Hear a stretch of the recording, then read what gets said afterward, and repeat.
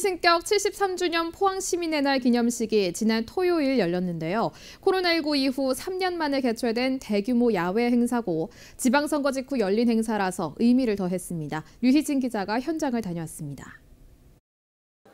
공식 행사 후 축하 공연에는 포항시 홍보대사로 활약 중인 전유진과 트롯 경연 프로그램 출신 성민지 등이 화려한 무대를 장식해 코로나로 지친 많은 시민들의 호응을 이끌어냈습니다.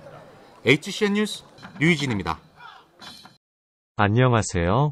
뉴스에서 보듯이 포항 시민의 날 행사에 미스트롯 출신 전유진 성민지 가수가 출격하여 1만여 명의 시민 앞에서 노래를 불렀습니다.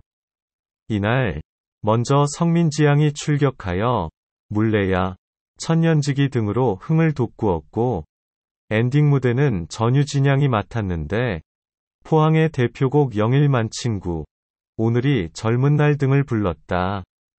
특히 앵콜곡으로 울림이 좋은 꽃길을 무반주로 불러 시민들의 많은 박수를 받기도 하였다. 감사합니다.